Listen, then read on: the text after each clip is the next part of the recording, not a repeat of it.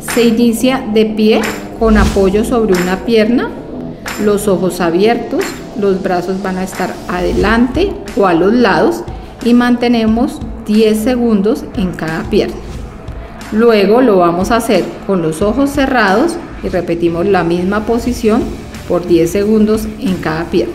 Y se termina con ojos abiertos manteniendo un balón en medio de las manos.